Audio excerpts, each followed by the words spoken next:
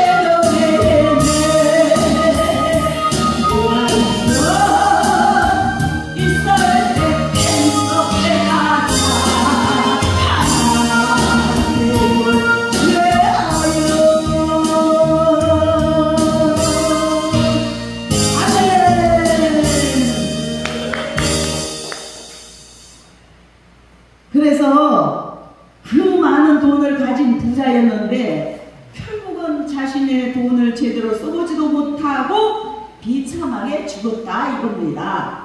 우리 사회도 이 거지와 같은 인생을 비슷하게 사람들이 많을 것입니다.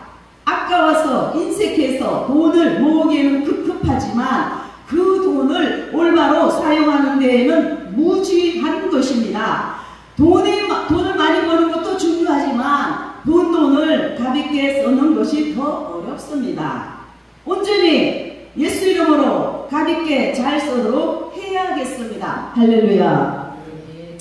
바울 사도는 믿음의 아들 디모데에게 부자들을 향해 교회 지도자로서 항상 경계하고 가르쳐야 할 것들에 대해 교훈하는 오늘 읽은 본문에 대해서 본문 말씀에 대해서 소중한 가르침을 주는 겁니다.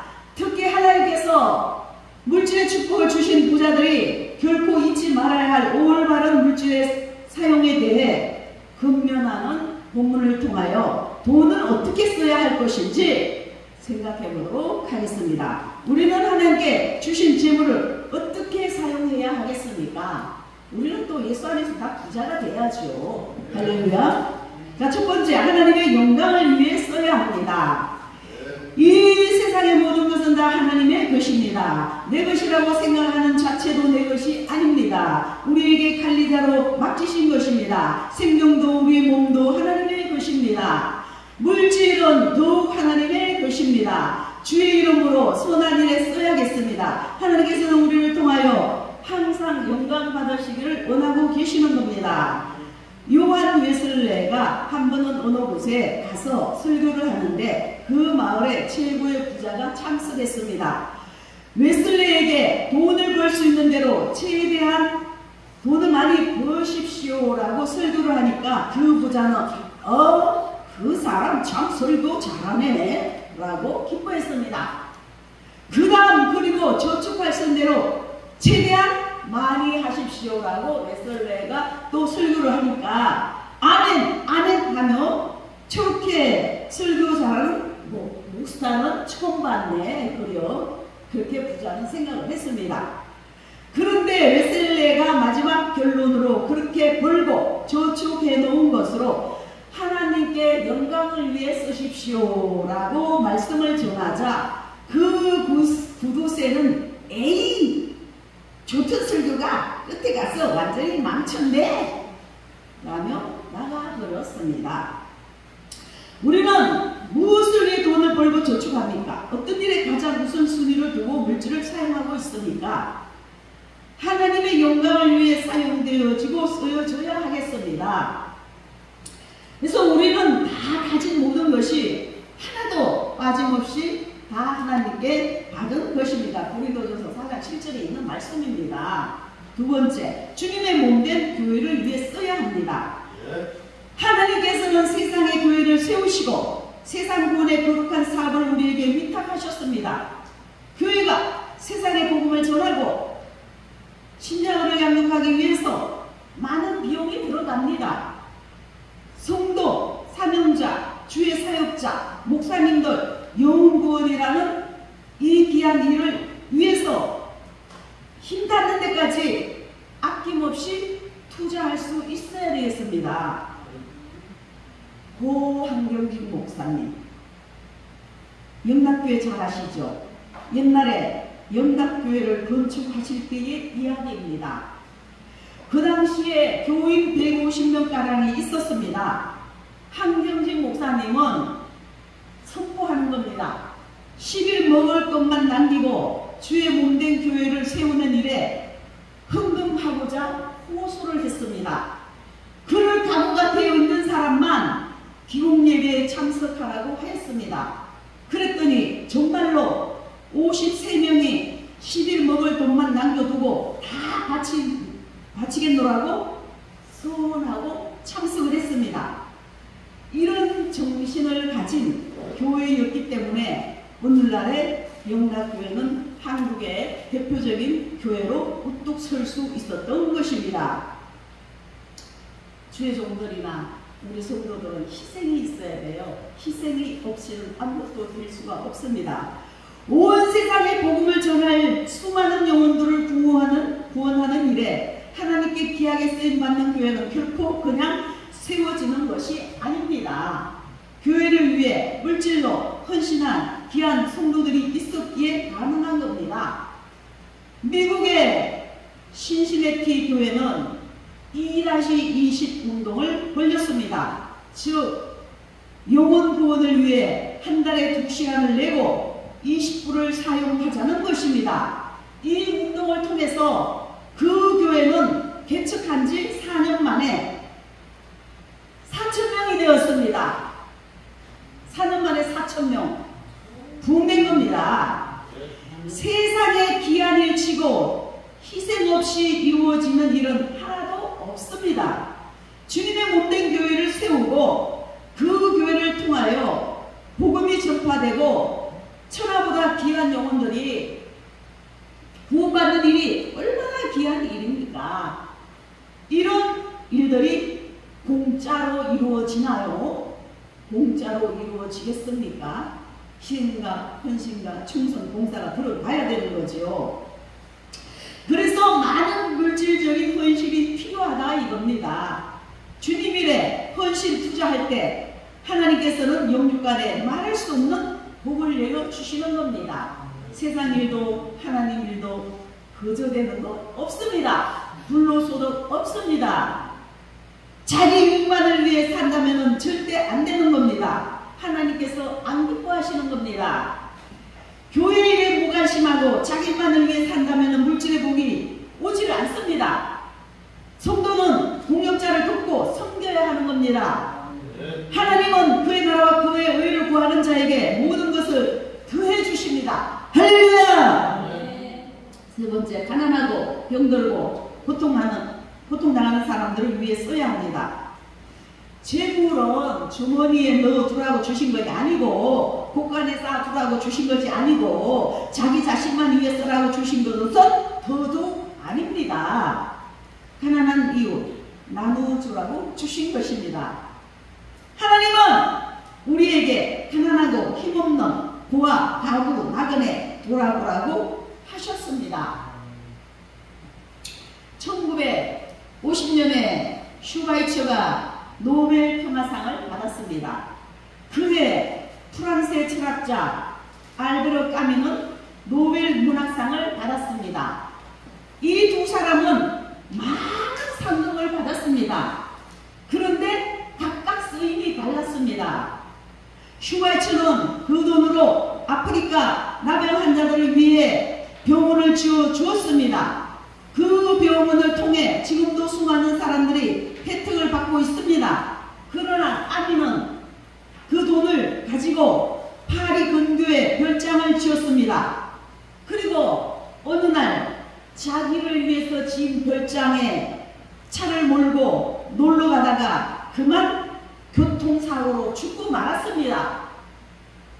똑같은 상금을 받았지만 그 돈을 어떻게 썼느냐에 따라 이렇게 결과가 다릅니다. 그들은 그들을 향해서 후세의 평가 역시 하늘과 땅 차이, 천지 차이입니다. 저나 우리는 수입 중에 몇 프로를 이웃을 위해 쓰고 있을까요? 더욱 주님이 명령하신 말씀대로 한번 살아보도록 합시다. 할렐루야. 지금도 잘 살아오셨지만 앞으로 한번 앞으로도 한번 우리 서로 잘 살아봅시다. 할렐루야. 복음전도 교회 가난한 이웃 고아 가부 주의종 목사님 모두 포함되는 겁니다. 이들을 위해서 도와야 되는 거죠. 헌신봉사 해야 되는 거죠. 돈이 있으면 해야 되는 거예요. 없어도 있도록 하려고 노력하면 또 하나님께서 물질을 주시는 겁니다. 할렐루야. 이러한 선한 일을 이 세상 사는 동안에 많이 하고 축복을 받고 자녀도 후손을 받고 자녀도 잘 되고 나도 잘 되고 후손들도 복을 받고 하늘나라의 영원한 하늘나라의 어마어마한 상급을 쌓는 겁니다.